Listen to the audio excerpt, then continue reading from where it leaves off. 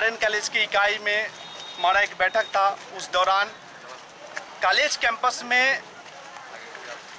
गड़बड़ी फैलाने वाला और ऐसे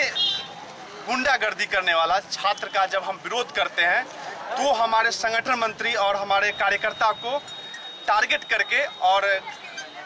जानलेवा हमला किया गया जिसमें भारी रूप भारी रूप से गंभीर है